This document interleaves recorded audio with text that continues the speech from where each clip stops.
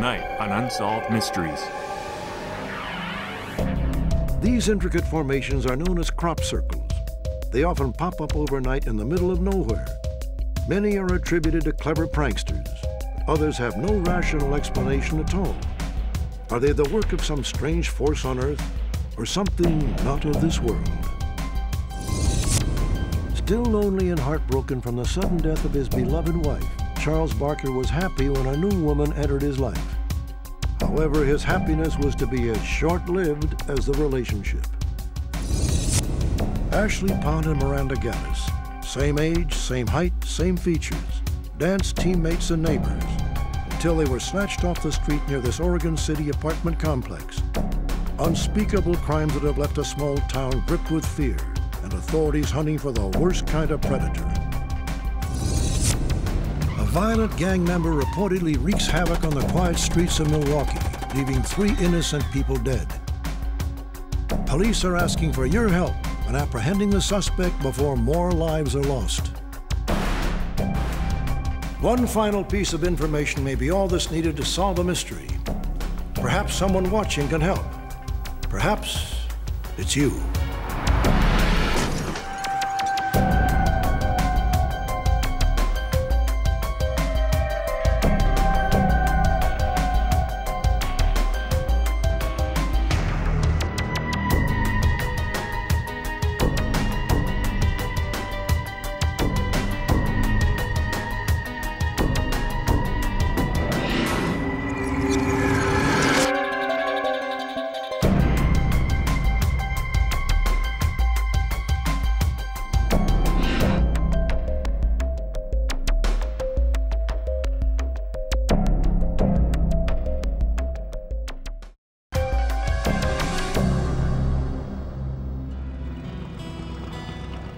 Edmonton, Alberta, on the western edge of the Canadian prairie. Rusty Manuel and Thelly Whitman had been driving home from the city when they were flagged down by one of their farmhands. Hey. Hey. Y'all done? Yep. He said, You have a circle in your field. Oh. And I said, oh, Yes, I know. The darn animals, they're always lying down and, and flattening the grain. And he said, Oh no, it had to be an awfully big animal to make this circle. What Rusty and Thelly discovered were seven crop circles pressed into thistle and barley, comprising a formation about 190 feet long. It was just amazing. What made this? How could it be made? You know, what, what's going on here? The grain was all flattened down, and it almost looked like a pattern, like petals, the way the grain came out, and then the heads turned back in towards the center again. I got a hold of the city police. The city police did come out. Uh, he was totally amazed. Soon after the startling discovery was made, the Canadian Crop Circle Research Network was contacted. CCCRN is a group of volunteers dedicated to gathering information about the mystery of crop circles. Judy Arndt is a field researcher with the organization. It looked like a place had been electrocuted. The plants were so badly frazzled. It was just amazing. Uh, looked like there had been a huge force of some sort. So it's it's over there. Over here. Let's go take a look. I was very curious to see what we could see and look at the details of the formation. Skeptics were quick to call the whole affair a hoax, attributing the work to clever pranksters like those shown in this TV documentary. Well, I'm from a farming background, so I know what it looks like when plants are driven over or uh, flattened in some way. So it was very clear to us that it hadn't been flattened by somebody out there with planks and boards. You can't do that to thistle. It was very densely grown, and it would be very difficult for anybody to get in without leaving tracks behind.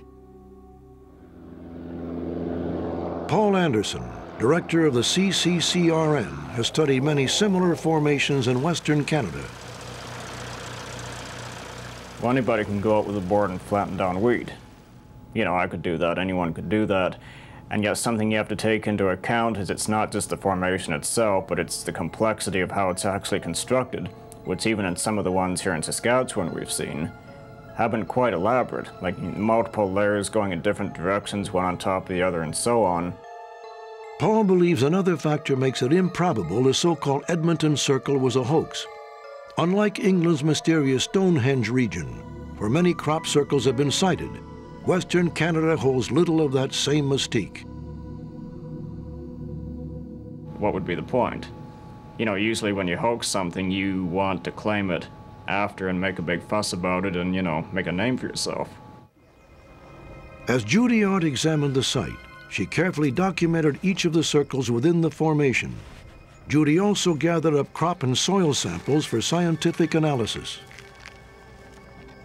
Each sample is numbered, and there's a corresponding sample of the grain stalks and of the soil at that particular location. So those are all numbered and written on a chart. The samples were analyzed by Nancy Talbott in Cambridge, Massachusetts. Nancy works with a consortium of scientists who have studied more than 350 crop circle cases from eight different countries. The three major changes in plants in the real McCoy as opposed to man-made crop circles are node elongation, expulsion cavities at the nodes, and germination abnormalities. Each of these conditions was present in the crop samples sent from Edmonton.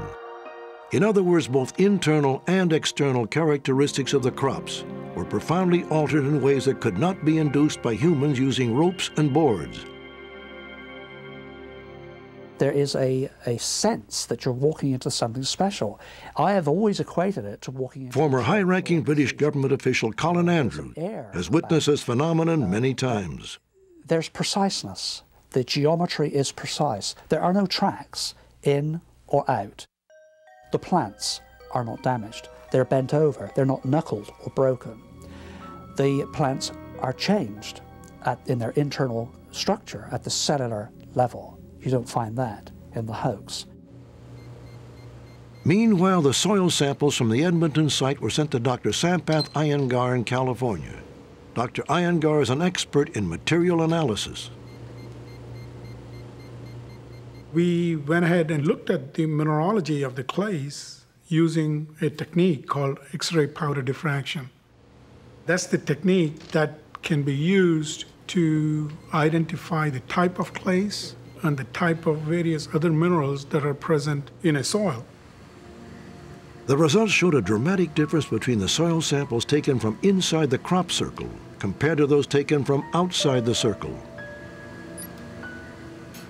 This has been seen by geologists before, but this is in a geologic time over several millions of years, plus at a lot higher temperature than what you would expect in a crop circle. And this has to be some kind of a fantastic energy or some kind of laser type of thing that's causing this change. And I don't have any idea what it is. Do the crop circles in Western Canada finally provide conclusive evidence of unknown forces at work? Skeptics say no. They blame pranksters who proudly take credit for making 80% of these often complex formations creations they call human land art. But what about the other 20%? It's a debate that's been raging since the mid 1970s, and a wave of crop circles captured worldwide attention. The most compelling question remains unanswered. If they are not the work of humans, then who or what created them and how? Theories range from geothermal and magnetic forces to some kind of cosmic energy.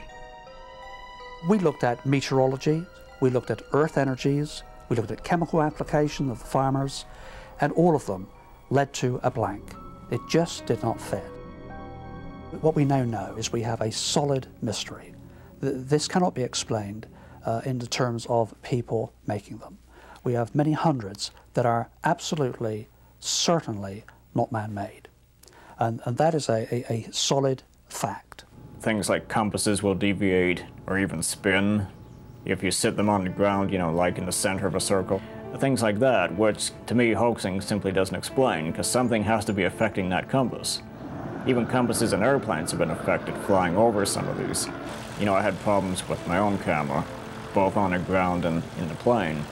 Any kind of electrical equipment will often just malfunction or go completely dead inside some of these. Perhaps most intriguing of all the proposed theories is the one that claims at least some crop circles are the work of extraterrestrials. I was contacted by a young couple who had been driving uh, along in the late evening. So do you have to work next weekend? Uh, maybe. I think they're gonna call me anyway. She was taking her husband to work in North Edmonton. I thought you were gonna have a weekend off. He looked out the window and saw some lights and rolled down the window to make sure it wasn't just reflection on his passenger side window. What is that? And the lights were still there. He got quite excited about it and asked his wife to pull over. There were two small lights, brilliant bluish, Is that a plane? No, planes don't move like that. and they said these two lights looked like they were playing tag with each other. No one's ever gonna believe this. And it went on for, uh, I don't know, 20, 30 seconds. This sighting occurred about a week before the uh, crop circle formation was found. Then a few days later, Rusty Manuel and Thelly Whitman had their own close encounter. We were just approaching our farm when we saw this light. What's that? What? Yeah. First, you thought it was a helicopter because it moved like a helicopter, but still there was no other lights on it. That is so weird. I don't know what that is. It was just bright and would just hover over the field and sort of move off and then come back again.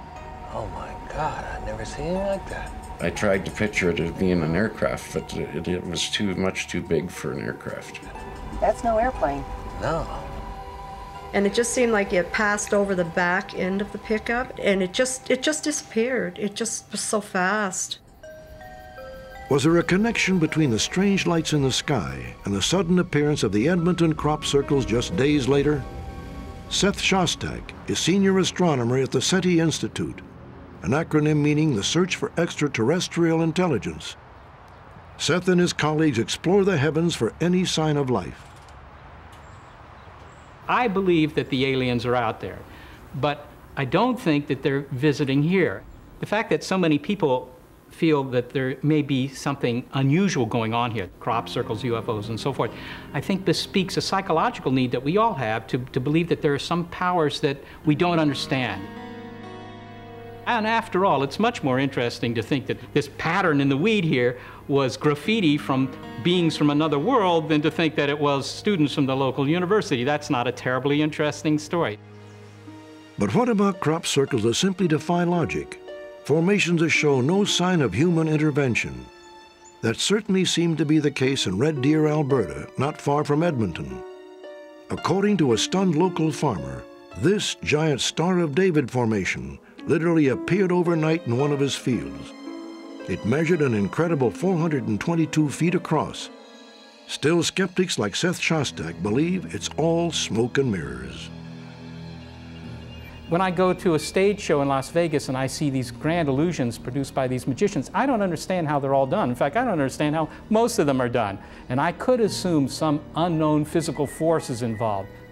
This would be terribly important if it were true about the crop circles, but the facts are that to say that they are made by something other than humans is a radical, a revolutionary claim. And consequently, I'm not going to be swayed by what amounts to very anecdotal evidence. It's got to be better than that. I don't think we need necessarily to be talking or trying to prove that it is or isn't extraterrestrial. I don't know that either. What I know is what I'm looking at that has arrived in our fields. Something knows what it's doing here. There is intelligence of some sort. And I know they're not all made by people.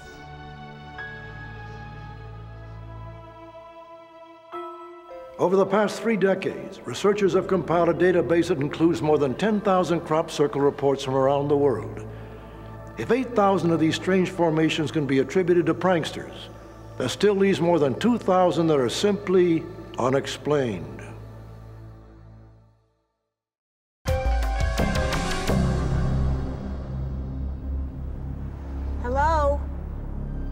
Yeah, um, I'd like to put an ad in the personals for a week. Single, white female, 47. August 1998. A woman calling herself Diana Ray decided to place an ad in the personal section of a Louisiana newspaper. I'm honest and hardworking and seeking a compatible single white male, 45 to 55, to enjoy life together. Diana Ray was hardly being honest. According to authorities, Diana was a drifter who hitchhiked around the country looking for her next mark, a lonely man to latch onto and drain his bank account. In fact, her real name was not Diana at all. It was Hazel Leota Head. A man named Charles Barker would have been interested in any one of these details if he had only known. Charles Barker had recently suffered through the devastating sudden loss of his wife of 10 years. She was killed by a drunk driver. It was a settlement out of court, and uh, he came into a lot of money. But after she died, it just seemed like he kind of fell apart. Um, he didn't know what to do with himself, I think. He was depressed. But then later on, he it's like he snapped out of it and wanted to do things, go fishing and travel. He bought a Winnebago, a boat. I guess that's when the loneliness set in, you know. He didn't like doing them by himself. The Riverboat casinos operating on the Red River in Bossier City, Louisiana, became Charles Barker's latest diversion. All right, all right. Although he probably believed he and Diana became acquainted by chance, given her track record, she undoubtedly orchestrated the meeting. This seat taken? Well, it is now, isn't it? It is. I just took it. well, you did. Charles Barker carried pretty large amounts of cash with him. Hazel would have almost certainly noticed that because she'd be looking for those kinds of things. You look like you're doing pretty good over there. And so he would have become a target for her. You know what? I might ask you to help me because I'm not doing too good here. Well, your hand looks pretty good right now. Let's see. They shared a whirlwind romance, and less than a year after the death of his wife, and within days of their initial meeting, Hazel had moved in with Charles Barker. Dad told me he'd met a woman in a casino. You know, I didn't think anything of it. You know, I just, I hope he was happy and I don't want to see him alone. You know, I thought maybe she uh, would be a good companion for him. And evidently he was happy with her for a while because he would call me and say he liked her. You gonna carry me over the threshold? well, I'm going to give it one good old try, I'll tell you that much. He needed someone, some companionship. He didn't like to be alone. So you're looking really good, Dad. Tell me about this. One weekend, Jennifer made the nine hour drive from her Austin, Texas home to meet her father's new girlfriend. Hey, Sugar, I'm all out of ammo. oh, hon, Deanna, I want you to meet my, my daughter, Jennifer. Oh, hi. Jennifer, Deanna. Nice to meet you. Boy. Oh, look at this. When I first met her, she was in the casino with my dad. So are you from around here? I'm from all. She wasn't very, you know, a real presentable woman. You know, um, just no class. It's nice to meet you. She looked like a, a barfly, you know. I was suspicious of her. Um, I knew she, she wasn't right for him. Daddy, what's going on? You do not sound. A short time later, even Charles apparently began to share that opinion. One big old messy situation here. According to his daughter Cindy, Charles admitted he was troubled in a phone conversation, but declined to reveal what his problems were. Daddy, I, I can help you with this. Please. Sweetheart, listen to me. Trust me here. Next week we'll get together, I promise you, and I'll sit down with you and I'll tell you everything. When my dad right called now. me, So he just sounded so different, and um, he started crying, and I've never, you know, heard my uh, dad cry or anything. And um, but he told me he'd call me in two or three days, everything would be okay, and let me know what was going on. But that explanation never came. Shortly afterward, Jennifer tried calling her father to arrange another visit. I'd been trying to phone him for the whole week. And uh, no answer. And I finally called my aunt. And she said, we'll go by there and check on him. Charles Barker's sister June and her husband drove over to see if there was a problem. Charlie. Charlie? June Stringer and her husband notice that the front door of the residence is open. So they proceed further. The husband looks in and sees Mr. Barker slumped over the bar. Charles Barker had been dead for five days, killed by a single gunshot to the head. As investigators combed the crime scene, several observations were made. Our detectives found no sign of a struggle. They did not find a house that had been ransacked. Mr. Barker had a uh, 25 caliber Raven Arms pistol that he kept in his residence. There were no prints found on the gun, but the ballistics evidence uh, indicates that that was the weapon that was used. Mr. Barker had a safe that he kept in his bedroom. Uh, the safe was opened when investigators arrived. Except for Charles Barker's personal papers, it was empty. I know for a fact that my dad always kept money in there. And at that time, I believe he probably had $45,000 at least in that safe. Also missing was Charles Barker's Lincoln Town Car and his girlfriend.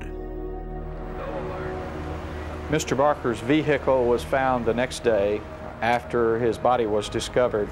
It was found uh, near the airport. Inside the car were pieces of clothing uh, that belonged to Hazel. Also found in the car was DNA evidence, physical evidence that we believe definitely links her to the car. We believe she is the one that took the car from his residence and drove it to that spot near the airport. A background check on Hazel had revealed that she'd been married as many as 10 times and was known to use more than a dozen aliases. There was also an outstanding warrant for her arrest in Lincoln, Nebraska. Hazel Head had allegedly burned down her boyfriend's mobile home, then fled before standing trial. Did Hazel Head murder Charles Barker and escape with an unknown amount of cash? Had this been her plan from the very beginning? Our investigators theorized that Mr. Barker was probably at the bar reading the newspaper. Hazel came out of the bedroom with the gun, the 25 caliber. He didn't realize that she was behind him.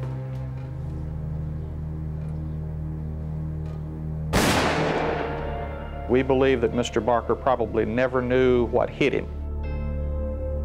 But was Hazel Head plotting yet another scam, even while she was still living with Charles Barker? Louisiana authorities subsequently recovered a recording of a personals ad she placed shortly before his murder. This is Hazel Head in her own voice. Lonely men everywhere, beware. And I'm looking for a single white male between 45 and 55 to have a good time, enjoy life, and just be all around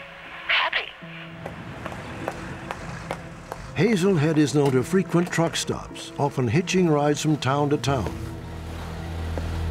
I heard you say you was going to Dallas. Investigators believe she easily blends into that environment and never stays long in one place. Hazel Head is a very street smart woman. She flies below radar. To track Hazel Head is uh, very difficult. She becomes almost like a ghost. It's like uh, she's here and she's gone. But it must not be forgotten that she is a dangerous person, that she might have killed even before Mr. Barker was murdered. She may have killed since. Uh, she has a dark side to her. Hazel Head stands 5 feet 2 inches tall. She has a scar near her right eye and a gap between her front teeth. Head is wanted for the first degree murder of Charles Barker and should be considered dangerous.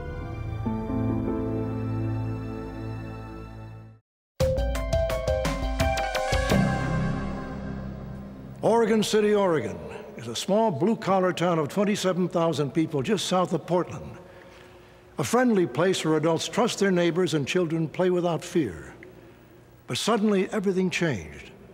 Over a six week period, two young girls vanished without a trace. setting in motion one of the most complex and unusual investigations state authorities have ever encountered. Nestled among the hills of Oregon City sits Newell Creek Village Apartments.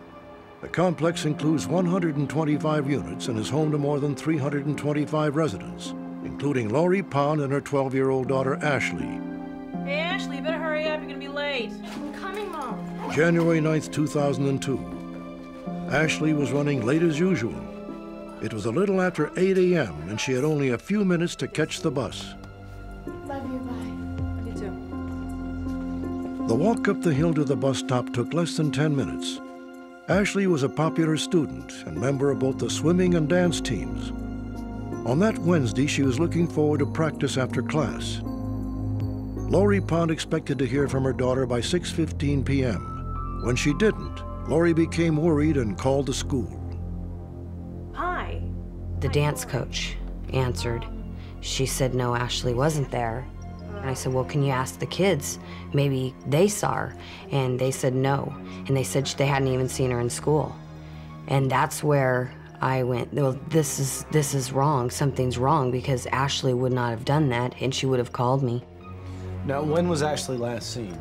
Laurie immediately contacted the Oregon City Police. She told the officer none of Ashley's clothes or personal belongings was missing. Things she was sure her daughter would have taken had she run away. No, no, no, no. I didn't sleep that night at all. I just thought maybe she would, you know, come home and I'd, you know, knock on the door or whatever, but she never did. The police concluded there might be a child abductor on the loose and opened an investigation. Detectives first talked with some of Ashley's classmates. They said she never got on the bus. Next, police canvassed the entire apartment complex, looking for leads or possible suspects. They found neither. The investigators have been able to search every apartment within that complex, including crawl spaces and attic spaces, and uh, are confident that there was nothing there to see. The search expanded. Hundreds of volunteers combed the surrounding area, while detectives questioned Ashley's father, looked into Ashley's internet activity, and checked out lists of known sex offenders. Again, no clues, no suspects, and no sign of Ashley. Detectives then contacted the FBI. We've moved to the larger community around the apartment complex. We've been through the school.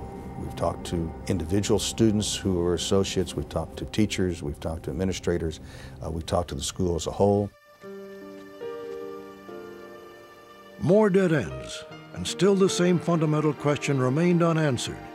What had happened to Ashley Pond between 8.05 a.m. and 8.15 a.m.? That happened to one of your friends or something. Meanwhile, 13-year-old Miranda Gaddis, Ashley's neighbor and dance teammate, found herself in the middle of an intense investigation. How do you do, Miranda? Hi. Could you tell me how long you actually know Ashley? Since about third grade. The FBI talked to Miranda a lot about Ashley because they'd known each other for so long. Dance classes. They were friends, and I'm sure that they knew pretty much the same people. Days turned to weeks, still no sign of Ashley Pond. And life at the apartment complex became somewhat normal again. Hey, honey. Morning, Mom. March 8th, 2002. Michelle Duffy packed up for work as usual. It was 7.30 a.m. Her daughter Miranda was in no hurry. She still had 45 minutes before the school bus arrived. Police believe Miranda left her apartment a little after 8 a.m. and headed up the hill for the bus stop.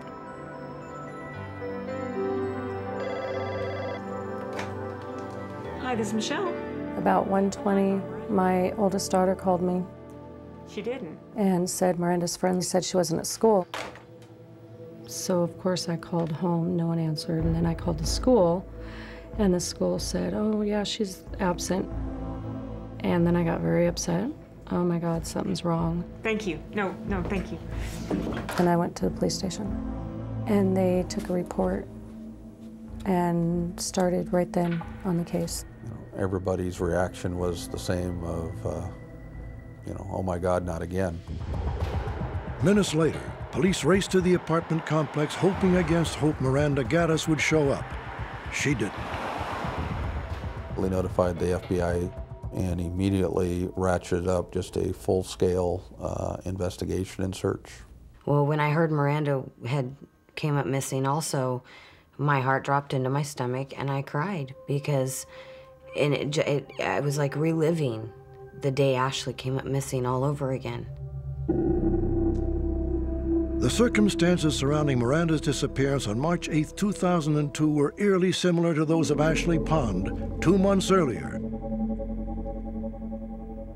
Even more ominous was a striking resemblance between the two girls. They're about the same height and weight, and both have brown eyes. We've got a mirror image of a victim and an occurrence.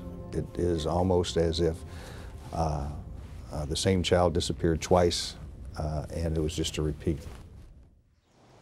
Like Ashley, Miranda usually took the road up the hill to catch the bus. Had she been snatched by a stranger on the way? Had Ashley met a similar fate? It's feasible that if we're dealing with a stranger abduction, that Ashley's disappearance was a was a crime of opportunity at, at that one moment in time, and that the offender having been successful, came back uh, to the same area to do it again. A crime of opportunity committed by a stranger? It was certainly plausible. But the mothers of the two girls found it highly unlikely. They both would have put up a, a stink if somebody tried to take them, a, that they didn't know. If someone grabbed Miranda, she would have fought, and there would have been something laying in the road. Without an apparent crime scene, police began to focus on another, perhaps more likely theory.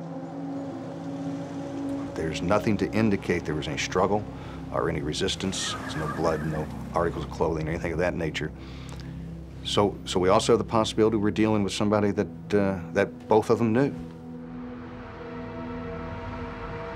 Since the disappearance of Ashley Pond and Miranda Gaddis, the school bus now picks up students right outside their doors.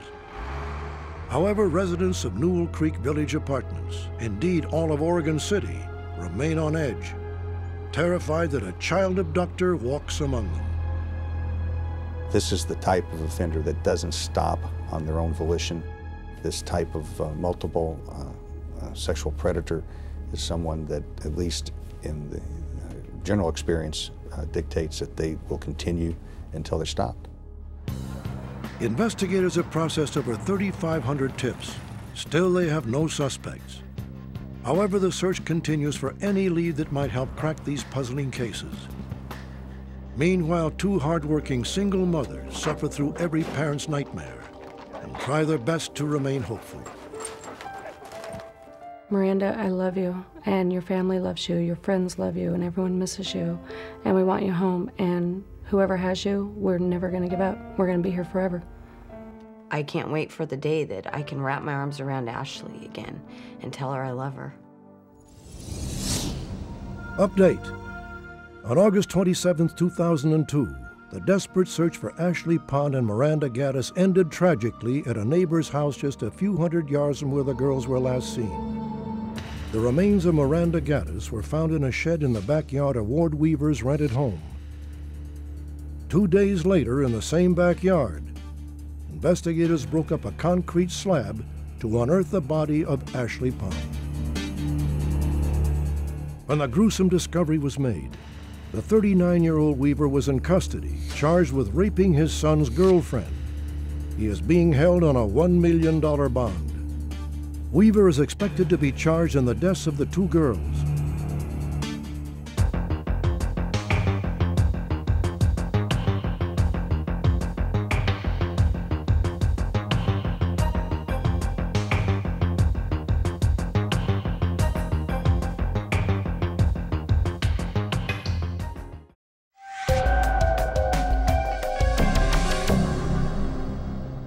Side of Milwaukee is home to hundreds of law-abiding blue-collar families. Not long ago, this peaceful neighborhood was invaded by a vicious gang of drug dealers known as the Lopez family. Allegedly, the gang's principal enforcer is 20-year-old Arthur Lopez Jr. Police believe Arthur's behind a bloody wave of terror that has left three people dead and countless lives destroyed. Hopefully, someone watching can help authorities find Arthur Lopez Jr. The Lopez family reportedly bought seven houses in a two block radius to oversee their drug empire. What's up, homie? When a rival gang called the Latin Kings tried to move into their area, authorities believe the Lopezes did not hesitate to act. Vamos.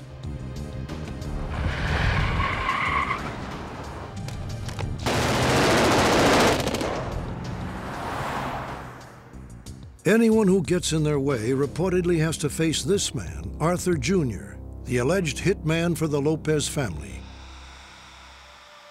Carlos Hernandez was once a member of the Latin Kings, but according to his family, Carlos had recently left the gang and turned his life around. He just seen drive-bys and he started to see how very rarely do they hit their intended target. They, they'll hit innocent bystanders, kids playing on their bikes in front of their houses. He knew it was a possibility that could happen to anybody. And he, he felt best that he'd, he'd get out the gang and, uh, and turn it around and, and really try to help the neighborhood come back to what it was once was before. Carlos Hernandez organized a youth basketball league and took a job with a city organization that helps kids stay out of gangs. A major part of his job was to try and mediate problems between the gangs in that particular area. So what do you think, Pop? These fools are taking all our business. The Lopez family had come to Mr. Hernandez uh, with a problem with the Latin Kings over territory. Police believe that Hernandez failed to resolve the Lopez's turf dispute with the Latin Kings. Arthur Lopez Jr. was allegedly given the order to take care of Hernandez. According to witnesses, Arthur Lopez Jr. and several family members surrounded the building where Carlos Hernandez worked.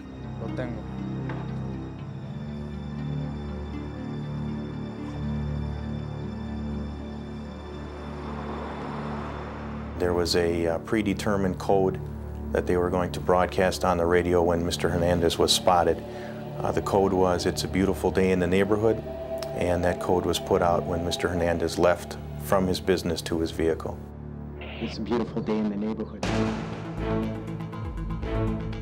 At 4.30 p.m., authorities believe Arthur Lopez Jr. donned a mask, hopped on a bike, and coasted toward the unsuspecting Hernandez.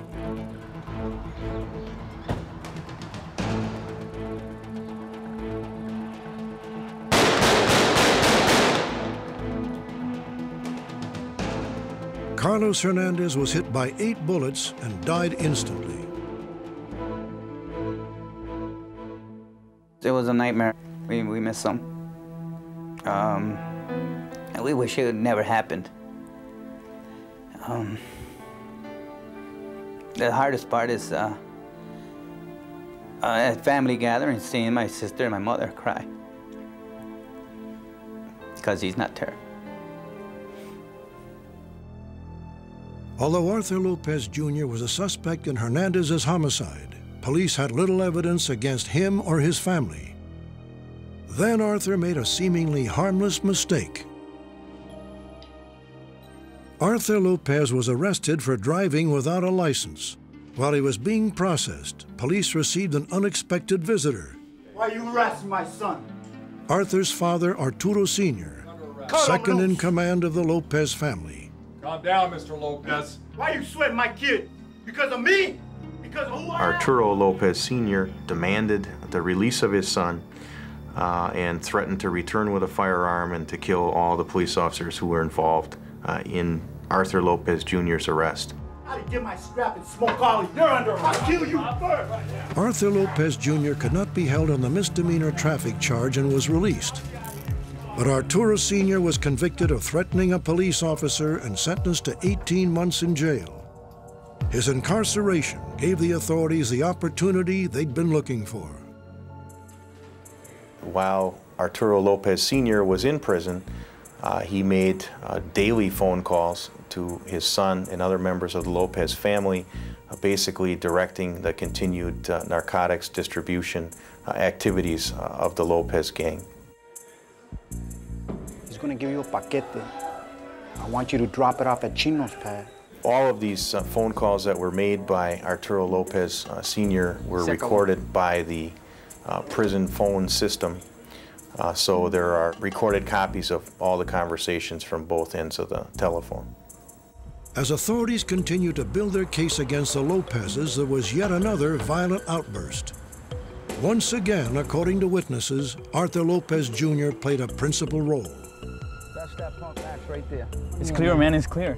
Come on. On August 11th, Maximiano Castillo, a known member of the Latin Kings, and his girlfriend Vanessa Rivas returned home after a quick trip to the grocery store.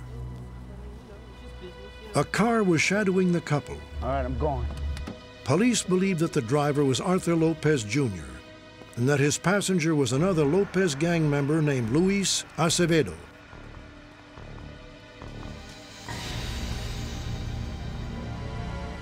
You Max?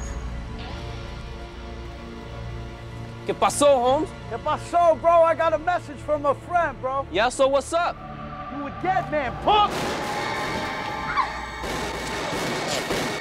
Vanessa Rivas, a completely innocent bystander who had just celebrated her 15th birthday, was unable to escape the rain of bullets. We know that uh, Vanessa Rivas was hit once in the side. Um, the, the bullet did a lot of damage and she basically bled to death.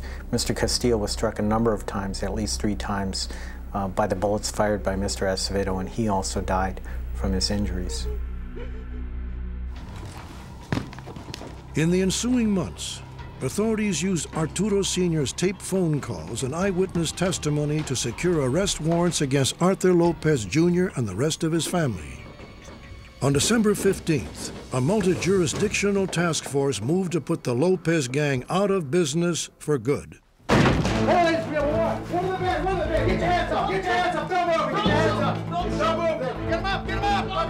On your knees!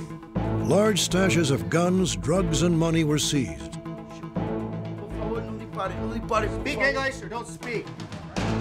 Eight individuals were arrested, destroying the gang's ability to terrorize a community. Three, take him out of here.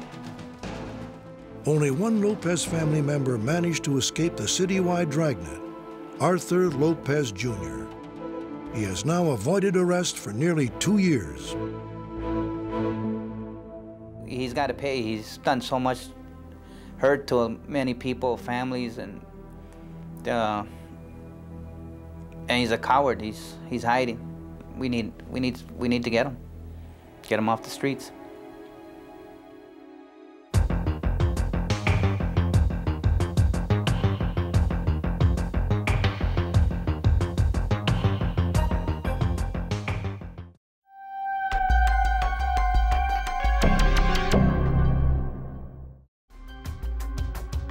Every mystery, there is someone, somewhere, who holds the key.